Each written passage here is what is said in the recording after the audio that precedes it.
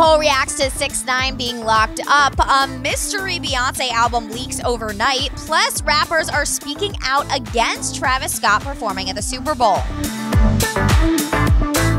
Hey guys, it's Allie for Hollywood Life. And remember when 21 Savage tweeted that he forgot to drop his album? Well, good news. He remembered this week. But we'll talk about that project a little later, so stick around. For now, let's jump into some Travis Scott news. Yesterday, we told you Kim and Kanye were spotted at the Astroworld show in LA on Wednesday night. Even though Ye's appearance seemed to prove that there's no bad blood between he and Trav, fans on Twitter were quick to point out that Kimye left right before Travis performed Sicko Mode. Shade we also told you that Maroon 5 locked down Travis for a Super Bowl performance. Well, now it's looking like some of hip hop's biggest stars are weighing in on the matter. Meek Mill, an avid supporter of Colin Kaepernick, sounded off on Twitter saying, For what? He don't need that. He on fire already. Stay strong in this.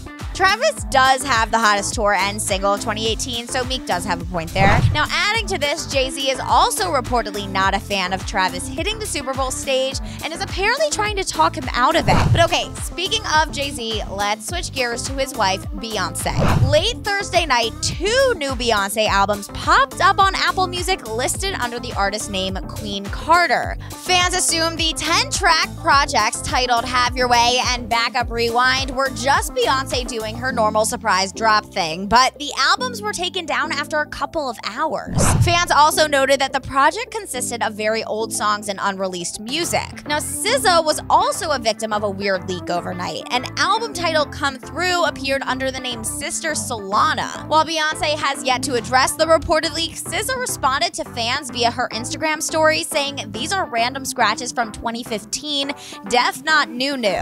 One fan on Twitter reacted to the leaks and said, I'm I'm going to need whoever is behind Queen Carter to leak Rihanna's unreleased music. But okay, back 21 Savage's album. The rapper's sophomore project kicks off with a killer feature from J. Cole on the opening track, A Lot. On the track, J. Cole reveals that he prays for Markelle Fultz of the 76ers and even Tekashi 6ix9ine. Cole says, Pray for Tekashi, they want him to rot. I picture him inside a cell on a cot, reflecting on how he made it to the top, wondering if it was worth it or not. But alright, guys, hit the sub, like, and bell button and comment your favorite song off of 21 Savage's new album. Bye.